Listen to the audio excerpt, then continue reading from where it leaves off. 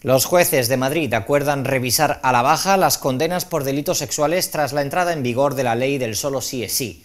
La Audiencia de Madrid votaba este viernes con 32 votos a favor seguir aplicando la norma más favorable a los delincuentes. Y todo esto pese a que la Fiscalía General del Estado aconseja lo contrario, es decir, rechaza rebajar penas a los violadores. La Audiencia de Madrid aplicará el criterio más favorable al reo en la ley de solo si es sí, no atendiendo a la disposición transitoria quinta del Código Penal que limita las revisiones, han informado fuentes jurídicas. De este modo, los magistrados por mayoría se han desmarcado de la postura de la Fiscalía General del Estado, que se muestra a favor de que no se modifiquen condenas cuando la pena impuesta pueda dictarse con el nuevo marco penal.